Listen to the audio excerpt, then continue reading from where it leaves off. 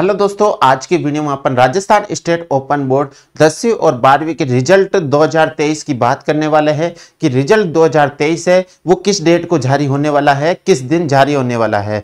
तो आज की वीडियो में अपन कंप्लीट इसके ऊपर डिस्कस करने वाले हैं। तो दोस्तों, वीडियो के लास्ट तक ज़रूर बना रहिए और हमारे चैनल पर नए हो तो सब्सक्राइब कर दीजिए बेलाइकन को प्रेस कर दीजिए ताकि आने वाली जो भी वीडियो है, उसका नोटिफिकेशन आप तक पहुँच जाए। दोस्तों, मैं Balveer Rawat, Harsh classes Madarpura YouTube channel में आपका स्वागत करता हूँ। हूँ। दोस्तों, राजस्थान स्टेट ओपन बोर्ड की बात करें तो दसवीं और बारहवीं के अभी जो एग्ज़ाम चल रहे हैं, ठीक है? दसवीं और बारहवीं के जो एग्ज़ाम है, वो चल रहे हैं, लगभग कंप्लीट होने वाले हैं, ठीक है दोस्तों? तो अब इसके बाद आपके बहुत सारे मेरे पास कमेंट आ रहे हैं कि रिज़ल्ट कब जारी होगा 2023 का जो रिज़ल्ट है वो कितने दिनों में जारी होता है, किस दिन जारी होगा, किस महीने में जारी होगा, बहुत सारे डाउट आते रहते हैं। तो मैंने कमेंट पढ़ा है और उसके बाद आपके लिए ये वीडियो लेकर आया हूँ, जो आपके लिए बहुत ही महत्वपूर्ण होने वाला है।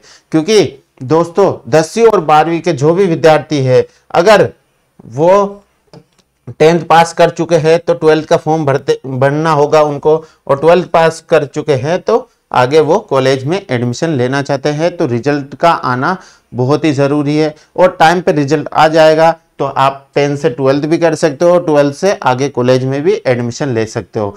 और अगर टाइम से नहीं आता है तो आपके क्या होता है कि सरकारी कॉलेजों की जो प्रवेश डेट होती है, वो निकल जाती है। उसके बाद विद्यार्थी ना तो कॉलेज में एडमिशन ले सकता है, ना ट्वेल्थ में एडमिशन ले सकता है तो ना तो इधर का रहता है, ना उधर का।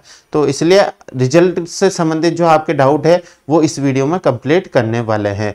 दोस्तों, बात करें दसवीं और बारहवीं के रिज़ल्ट की तो लगभग आपका 40 से 50 दिनों के अंदर अंदर आपका रिज़ल्ट जारी कर दिया जाता है।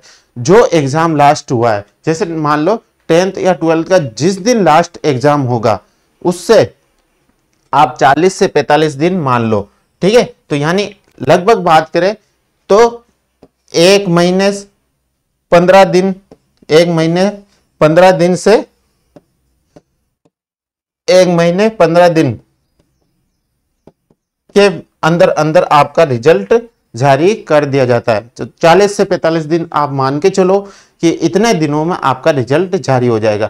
जैसे कि अभी जून चल रहा है, जून में एग्ज़ाम समाप्त हो जाएँगे तो आपके जुलाई नहीं, अगस्त में आपका रिज़ल्ट जारी कर दिया जाएगा। ठीक है? तो जो भी विद्यार्थी इस बार टेंथ या ट्वेल्थ का एग्ज़ाम दे रहे हैं तो विद्यार्थी ध्यान दें कि आपका रिज़ल्ट 40 से 45 दिनों के अंदर अंदर जारी कर दिया जाएगा। तो दोस्तों, ऐसी वीडियो जानने के लिए हमारे चैनल पर बने रहिए। चैनल पर नए हो तो सब्सक्राइब कर दीजिए और बेलाइकन को प्रेस कर दीजिए।